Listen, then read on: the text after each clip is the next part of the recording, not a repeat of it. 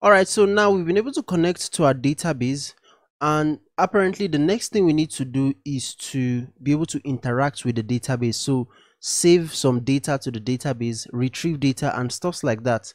But before we do that, there are two things we need to familiarize ourselves with. The first is database model and the next is schema. These two terms are related.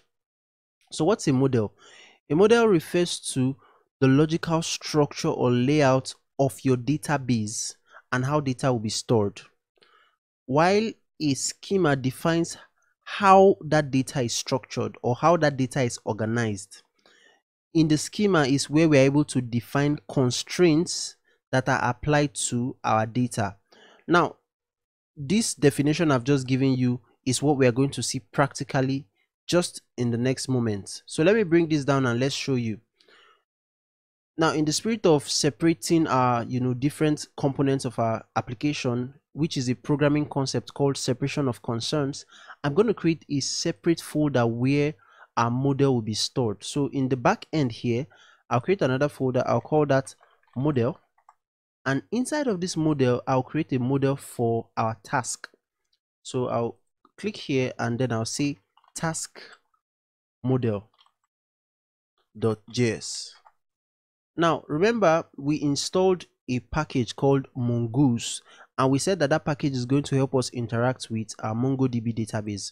So the first thing I'll do is I'll bring in Mongoose here, right? So I'll just say const Mongoose and that's going to be equal to require and what we're requiring Mongoose as well. Now that we've brought in Mongoose, with Mongoose, we're going to create a schema right? So you said you remember we said that the schema is going to determine how we structure the data, how we organize the data, the constraints that are going to be associated with that data. So how do we create a schema? Well, I'll just come here and say const and then I'll specify the name of the schema. So I'll just call that task schema C H E M A and that's going to be equal to so we're going to create the schema now mongoose dot the schema um, keyword here is going to start with a capital letter okay?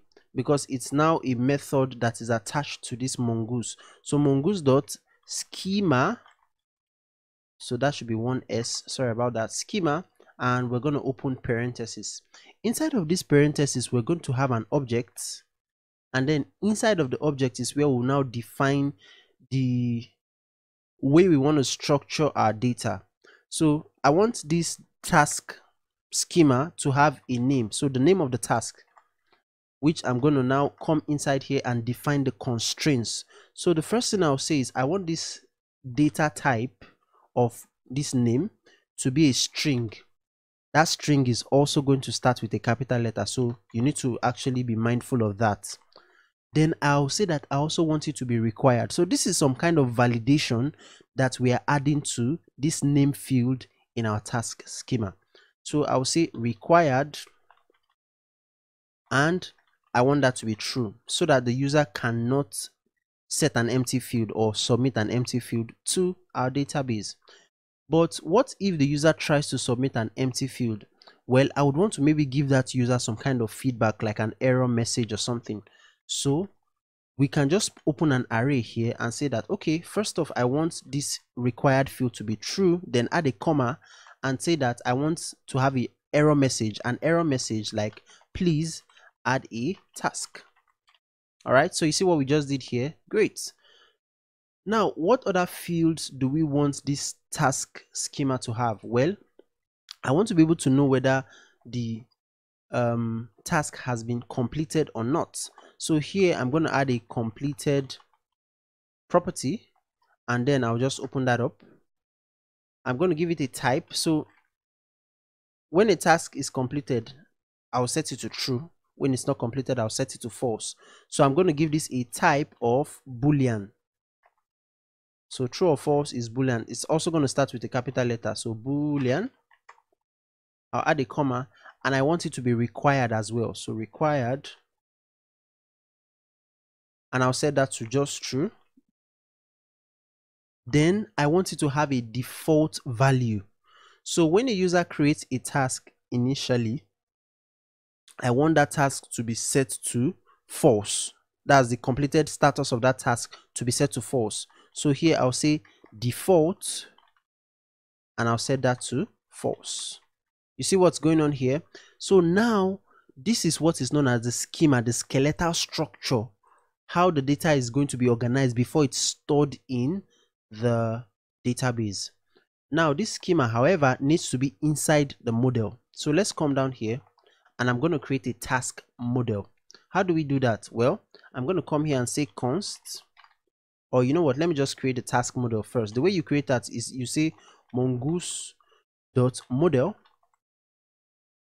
then you now specify first of all the name of the model. So how will that model be stored in the database? I'll give it a name of task.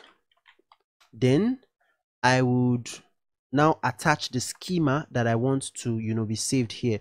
So remember we've created a schema task schema. So i'll just come here and say task schema.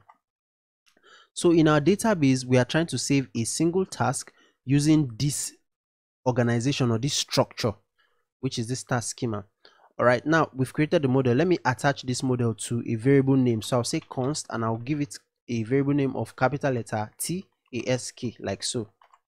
So you see what we just did here? Now i can just go ahead and simply export this task so that i can use it in other parts of my application. How am i going to do that? Remember we're just going to do module dot exports. And that's going to be equal to task well, my friends, we've been able to create a model and the schema of the way our data will be stored in the database. Now, before we actually, you know, start using this model though, there's one more thing I would like us to do, and that is to create a timestamp for this particular schema. So let me break bring this down here just to you know separate it. So you see, inside of this module mongoose.schema, we created this object uh, inside of it and then what I'll just do is I'll just add a comma after this closing curly braces. I'll come down and create another curly braces. Inside this curly braces is where I'll now add a time stamp. And then stamps actually plural time stamps. And then I'll set that to true. What this will do is that it will automatically add a timestamp to any data that we try to store in a database. That timestamp is going to contain two um, properties. The time you created that database and the time you updated that database and it will be automatically generated. All right.